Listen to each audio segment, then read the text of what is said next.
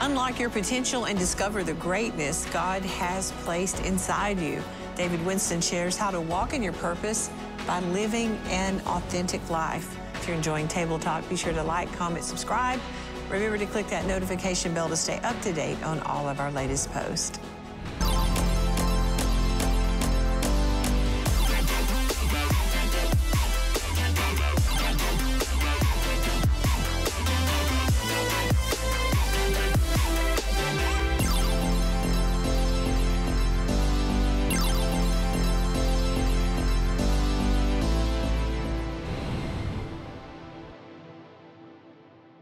Do you sometimes feel like you wish you could change your quirks or flaws or even personality? Maybe you feel like you're not good enough to accomplish the dream God's placed in your heart. Well, the truth is that everything about you was created with purpose, and today's guest is here to reveal just how important that is. But first, joining me around the table is a purpose-filled woman, Anna Kendall. there you go.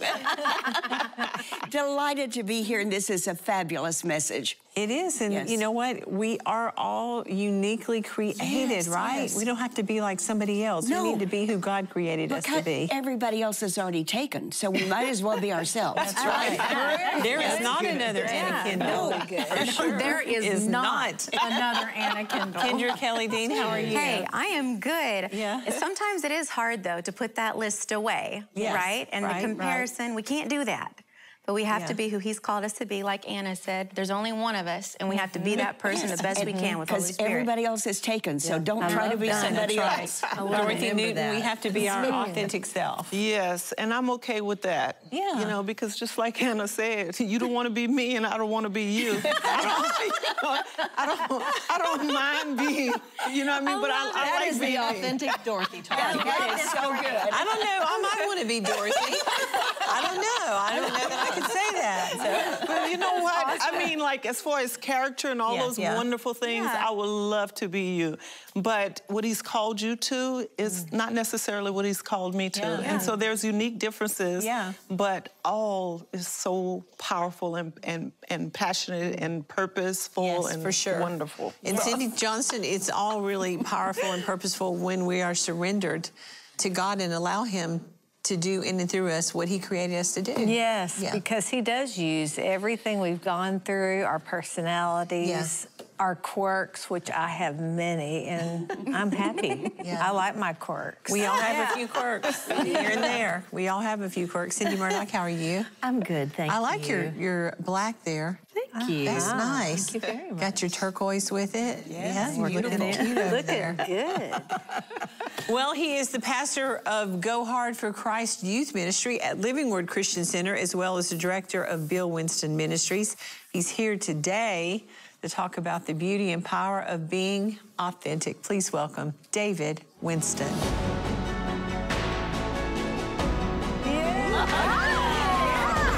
Hey, hey, hey. Hey, must his authentic self. Yes. That's right. Everybody else is taken, right? That's right. I love that. Anna said everybody else is taken. So you need to be you because many people are struggling with inadequacy and inferiority. But God has made each person, each of us, with gifts and talents, and drive, and divine purpose. So, how do we unlock that greatness in our lives? Well, according to David, it starts with authenticity. And today he's here to tell us why. And he wrote a book called The Confidence to Be Yourself, Authentic, The Courage to Release Your Greatness. Now, tell me what inspired this book, David. Just my own journey, really. You know, as I follow in my father's um, uh, footsteps, as I grew up, you know, in his shadow. He's done so many great things in ministry. Um, however, that can be intimidating sometimes. Mm, yeah. And I think we all have our own journey where we can be intimidated by maybe some predecessors who have gone before us mm-hmm. or what we see on social media and, and those kind of yeah. things. But, you know, this journey came and was going in the direction where God was trying to tell me that I have been created special and unique for the purpose to which He's called me to. And the way to accomplish His purpose is to be exactly who He's called me to be. Now, you're the youngest in the family. That's right. And your dad, when he was just with us, And you can just listen to Bill Winston, and he will convince you that whatever he's doing, that it is a God thing, and you want to get on board and do it. He just has that anointing. Absolutely, right? He does. Right. Yep. He convinces us all the time. Yeah. yeah. now he, um, that was kind of, if you will, although you loved and admired your father, it wasn't really the track of ministry that you thought you would go on. So tell us a little bit about that journey and how you found the right track? Yeah, so I grew up, uh, you know, in a Christian household, pastoral household, but I wanted to be a cardiologist. I wanted to be a heart surgeon, and even from a young age, before I could spell the word cardiologist. And so went on pursuing that, graduated from high school, went on to Oral Roberts University, uh, and I was studying biology pre-med. I changed my major, but kept my concentration.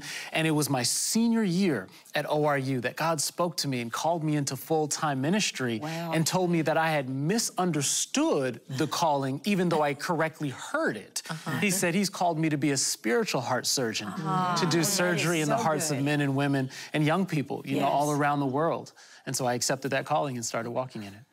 So what did you think when I mean, you were clear on that. And, and how did you hear the voice of God on that? Like, how did he speak to you? Sure. I was actually at a um, young adult conference at a local church there in Tulsa, and I was crying out at the altar as often we find ourselves in that place. Because I was at this place where things weren't going so well. Life was okay, but I wasn't getting those open doors that I needed. I was applying for medical schools, but I, I wasn't getting anywhere. I was feeling that level of hindrance, and I was just getting frustrated. I remember remember being at the altar on my knees, crying out, and I said these words, Joni. I said, God, I don't care what it is. Whatever it is, wow. I want it. Yeah. And I divorce myself from my will. God, yeah. just mm. give me your will.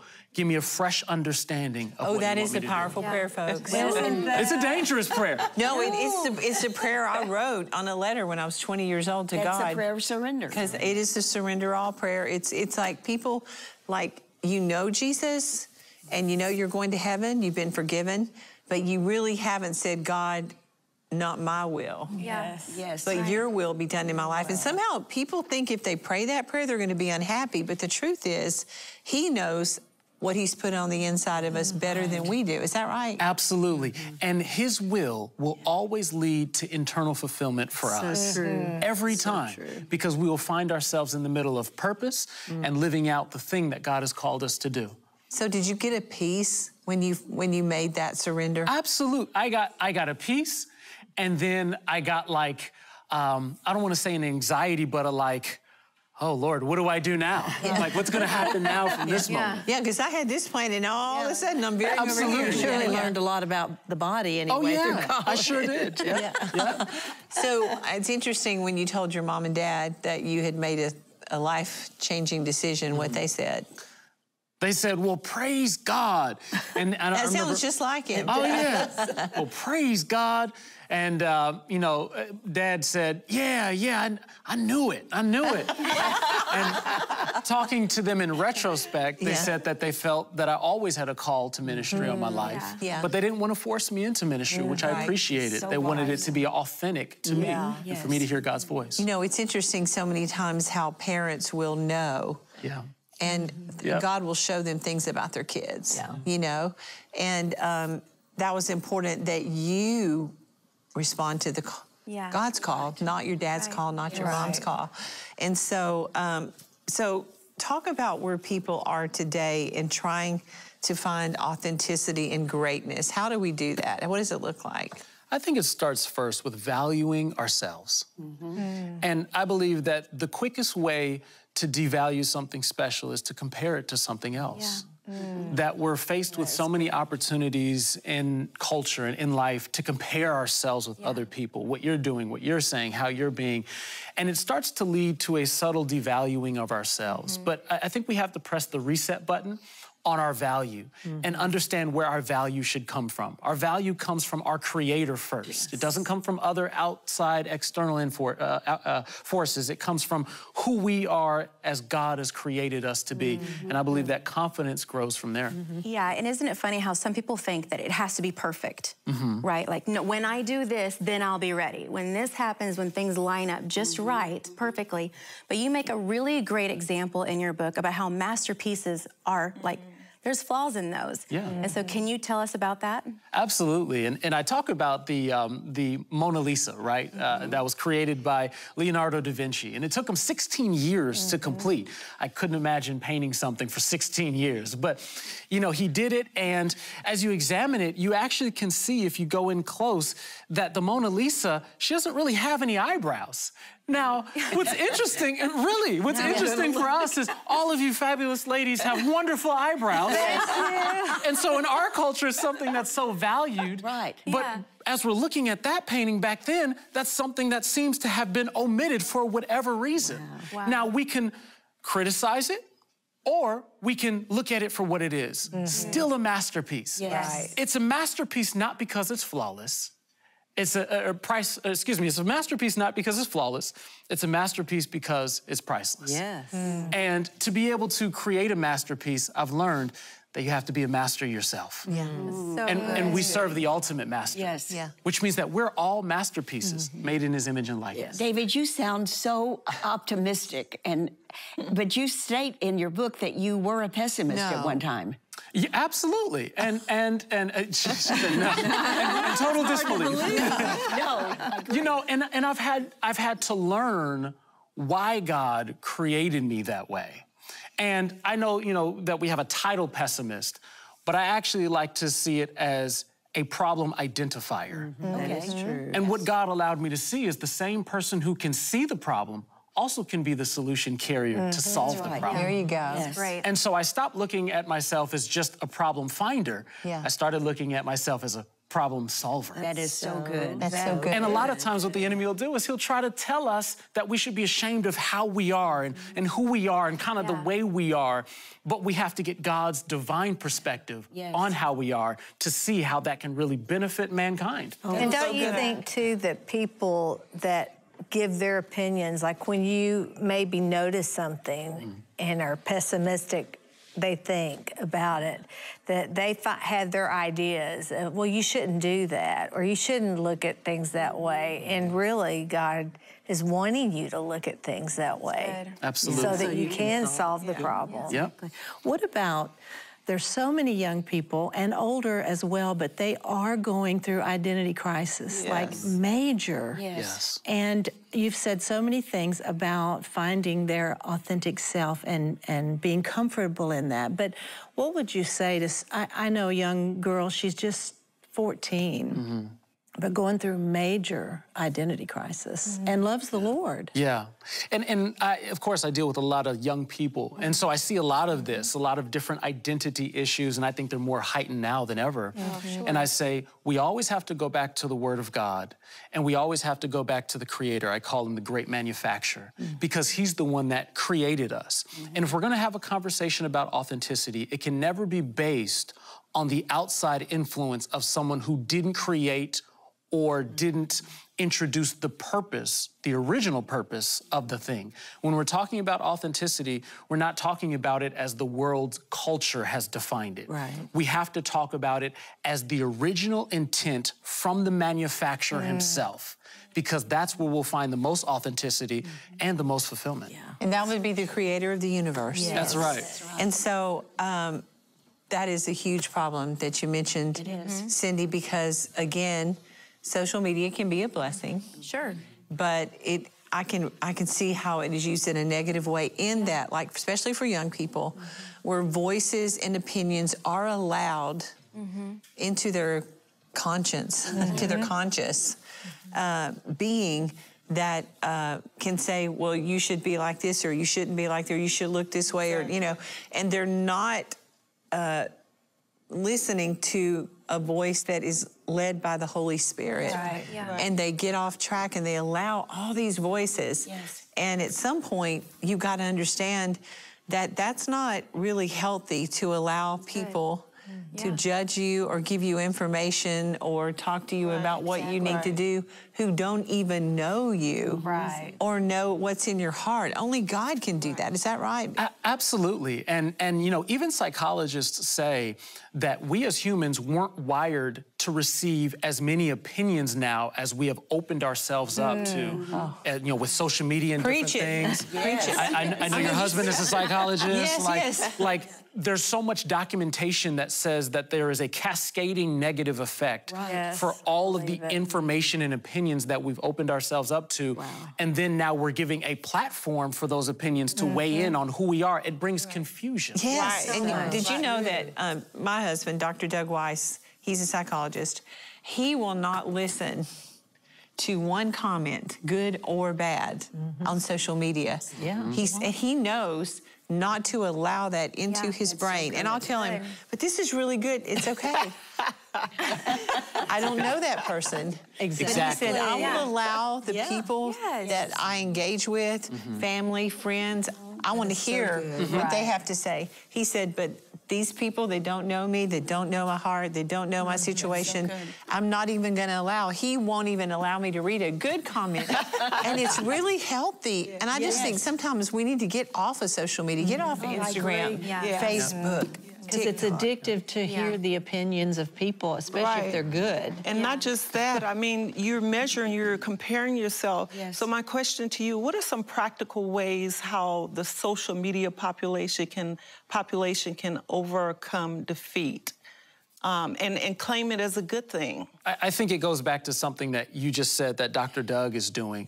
I think we have to limit the voices mm-hmm. that are speaking into us. Yes because even though we read that comment, um, they may not be some, somebody that we know personally, mm-hmm. but yet it's like our subconscious still receives it the same way yes, as I would receive it from somebody I know personally. So yeah. And so I think, first of all, we have to be very careful about the seeds that are planted in the soil of our heart. So good. Yeah. Because mm-hmm. our heart will grow anything that we put into it. Ooh. That's good. And, wow. and, you're having to deal with young people who are inundated mm-hmm. with yes. hundreds of comments every yes. day, and they're looking at every Instagram post, mm-hmm. every like, every yes. Facebook comment, and it is affecting their psyche in a powerful way and not in a good way. Mm-hmm.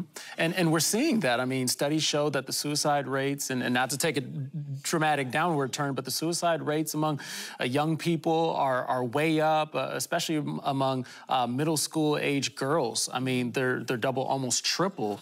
And we weren't designed to be able to handle the weight of the responsibility of other people's perceptions of us. And you yeah, know, David, so I think good. one of the things that is so damaging about social media and just the world today is how it is a spirit of comparison. Mm-hmm. You know, I mm-hmm. think comparison is a tool of the enemy. Mm-hmm. He always tries to compare us to someone that is better, greater, nicer, bigger, you know, whatever instead of comparing. And of course, yeah. if we go the other way, then it's prideful. So right. either way, it is not an instrument of the Lord. Well, and how important is it for you to discover who you are yeah. in order for you to figure out what your real purpose is supposed to be? Absolutely. And and I say in this book that the more you discover who you are, you'll actually find that purpose starts to encounter you. Mm-hmm. Oh, that's good. Mm-hmm. And and a lot of times we're doing it backwards. Like a lot of young people say, you know, what's my purpose? They're looking for the to do rather than the who are you. That's so and as you center in on the who are you, especially based on God's word, mm-hmm. and say, let me walk out this path of who God is calling me to be, you'll find yourself interested in things, trying things, having the courage to, to do new things, and you'll discover new things about you that mm-hmm. might lead mm-hmm. to a life of you know purpose and fulfillment in that area. So how did you overcome that growing up uh, in, in a great home? In, in a great church with a lot of people with opinions about the pastor's son. Ooh, there were a lot. and you have overcome it. Yeah, by the blood of the Lamb, I have overcome. And the word of your testimony. Come on. Yes. So talk a little bit about your, your some of your own personal struggles to authenticity. Yeah, and growing up, you know, in a church you know, with a well-known ministry that was continuing to grow, I felt a spotlight, you know, growing up, as maybe a lot of PKs do, regardless of the church size. And it, and PK stands for preacher's kid, just preacher's for you kids. to know. Yes, yes, thank you. Um, and what can be dangerous and damaging about that is, I think sometimes we're convinced that we have to start performing for people. Mm-hmm. Yeah. And we can't go through our authentic challenges and struggles and get that real authentic healing or help that we may need. And so, you know, I had to learn to try to block out some voices. Here's a real true story. When I went to ORU, the whole first year, I didn't tell people who my dad was. Wow. And I did that on purpose because I wanted to have an experience that was not colored yeah. by who I came from. Yes. Not that I was ashamed of my family. I was very grateful for them and very proud of them. But Rebecca I wanted to have did a the same thing, my baby. really? Yeah. Look at that. They, somebody, the teacher even said, oh, "Are you?" And she's like, "No." and so that was my experience. Yeah. So true story. My dad came to preach at chapel the beginning of sophomore year for me, uh-huh. and then blew up the whole spot. Oh, you say, hey, you know, it's my son You're David. That, that, that, was it. I mean, the whole spot was blown up, and, like, and it was okay. It was, it was, it was okay. You were okay by your sophomore year, probably. I was all right. I had, you know, I, I had my friends, because honestly, Joni, I wanted to know that people wanted to be my friend That's for right. me, right. Yes. and especially in a culture like ORU, where you know there's a lot of um, you know, Christian families and things, um, you know, people who identified with the ministry. I just wanted to be known that I was significant for me. Yes, not from who I came so from. Good. You know? so, so good. how does someone know, say someone that's watching right now, that they may be in an identity crisis?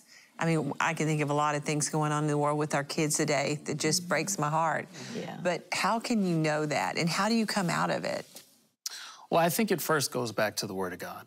I think when I tell young people, you know, who are going through identity crisis, identity is always born out of what you identify with. I think a lot of times for our young people, because culture is so loud and in their face, they're tempted to identify with their favorite artist, mm-hmm. their favorite, uh, you know, athlete, their favorite entertainer, this and that. Nothing wrong with that. But when you start identifying with them, then your behavior starts to line up with their behavior, right? Sure. And so I tell them, let's go back in the Word and let's make sure that this is the foundation of the identity. Who does God say you are? Yes. Because when you can understand who God says you are, you can be who God has called you to be. Yeah. Oh, that's so, so good. good. And what about the waiting room?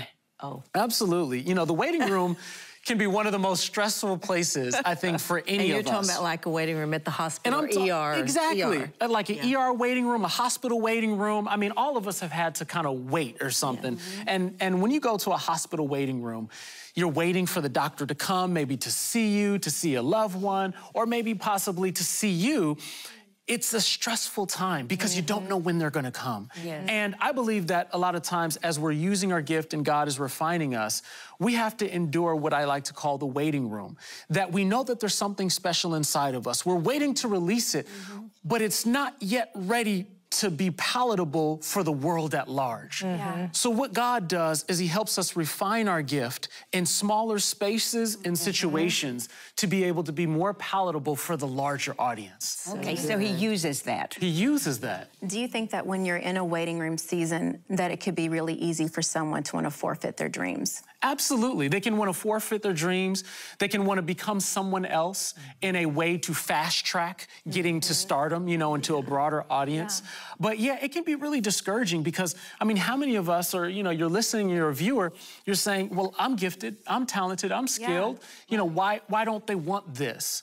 And sometimes it's not even just about you. Sometimes it's also about God preparing your audience. Right. Yes. So mm-hmm. He's preparing the hearts of those who are ready to receive what you carry. Yeah. And it may be for years later. I was studying recently about Moses, thinking that, you know, he got the best education that the world knew. Was it then years and years later that God used that for him to write the five books of the Pentateuch? That's right. Well, there's so many stories in the Bible where there would be a dream. You think about Joseph. Mm-hmm. He's my favorite Bible character, oh. by the way. and I wrote about him in the book. You did write about him in the book. And um, to think about from the time he had those dreams mm-hmm. till they were actually fulfilled, how much time passed and much how God time. used him such a great way. And there are people watching right now that you have thought about forfeiting your dream.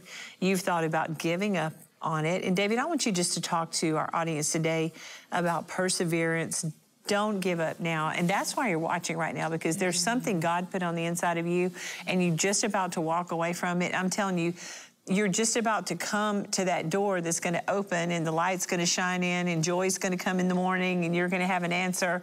But you're, going to quit right before you get there and you're so close. So mm-hmm. don't stop persevering. Yeah. Don't forfeit this dream and just encourage him, if you would, David. You know, there's something that I talk about in my book called the oven of preparation. And a lot of times, you know, when we're cooking a good meal, it needs to go in the oven for a certain amount of time. And if we take it out before the time, even though all the ingredients were there, if they're not cooked to the right specification, it won't taste the way it was intended to taste. Mm-hmm.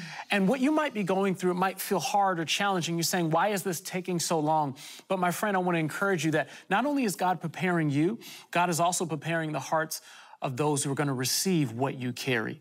Don't be quick to try to rush out of preparation. Don't try to rush the process. God's timing is supreme. And if you let God control the timeline, yes. there will be supernatural results that follow. So, so, David, would you take a moment for people who hear us talking, but maybe they have never really invited Jesus into their heart in life? Really, that is the most important thing that can happen before you can really walk in your God given identity, don't you think? Absolutely. Would you just lead them as you feel led? Absolutely. You know, you might be struggling. You might not feel like you have that place of identity, but identity starts with a life in Christ. Yes. And I want to lead you in a prayer that if you're feeling far from God or you want to start this new life, I want you to repeat this prayer right after me. Say this Heavenly Father, Heavenly Father I come to you today. I come to you today, just as I am. Just as I am. You know my life. You know my life. And you know how I've lived. And you know how I've lived. I believe that Jesus Christ. I believe that Jesus Christ is the Son of God. Is the Son of God. He died on the cross. He died on the cross for my sins. For my sins. And on the third day he rose again. And on the third day he rose again. Now, Lord, I ask you. Now, Lord, I ask you. Come into my heart. Come into my heart. Forgive me of my sins. Forgive me of my sins. From this day forward. From this day my life belongs to you. My life belongs to you. In Jesus' name. In Jesus' name. Amen. Amen. Well, I tell you what, you need to get the book. Um, and what about young people? Can they understand this? Absolutely. This is written for all generations. Even grandma watching could get this for the grandson, mom yep. could get it for the daughter. Yep, absolutely. And, and, and who needs to read it? I would say anybody needs to read it who is struggling with their confidence, struggling mm. with purpose, mm. or struggling with identity, understanding who they are in Christ. Yeah, so good. All Great right. Christmas yes. gifts. Yes. Well, thank you for being here today. You've been such a blessing. You're such a joy, yes, and just you, you see are. the love of God that just emanates from you. Mm. That is such a blessing as well. We are out of time. What we want you to take away from today's talk is that God uniquely made you and placed you right where you are to fulfill His purpose for your life. And when you walk in that authenticity, lives are going to be changed. And I keep hearing people say, but Joni, you don't know. No, I don't. But God does. Amen. And He's saying, Come unto me, all yes. ye that are weary and heavy laden, and I'll give you peace and I'll give you rest. It starts with that prayer that we prayed earlier with David. And you just invite Jesus in. I'm telling you, that's the first step. And then get in a good church. That's important, isn't it, David? Absolutely. To get in a Bible believing church yes. with other believers and then begin to read the Word of God. This is something your dad would say over and over and over. How important is the Word of God in our life? It's got to be the standard to which we live. the standard yes. to which we live. Well, if you're watching today, you want to live in your true, authentic identity so you can fulfill your purpose. Mm-hmm. That's why that toll free number's on the screen. Amazing prayer partners are standing by, always ready to pray with you. Again, I want to thank David for joining us at the table. And uh, Bill Winston, you did a good job on this one. Be sure to pick up his book, Authentic. I know it will be such a blessing to you. It's available now. And for more, you can visit him online at davidswinston.com. As always, if today's Table Talk has touched your life, let us know. You can leave us a comment on Facebook, Instagram, Twitter, or YouTube. We love hearing what God is doing in your life. Thank you so much for watching. Thank you, ladies. Thank you, David.